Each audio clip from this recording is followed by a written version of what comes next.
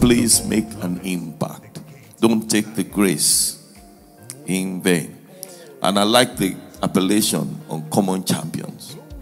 You know, to be a champion is big deal. You know, when you're a champion, you're a big deal. You're not average. But then when we say you're an uncommon champion, then you're in trouble. Because so much more is expected. And I trust God for grace that we will make impact.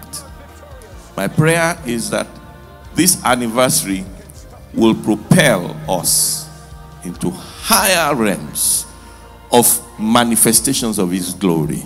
That we will make so much impact, so much impact, that the people who are in leadership they will come looking.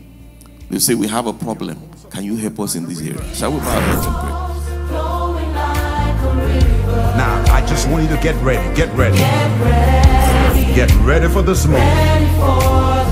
Come on, family. Can we take it one more time? Glorious.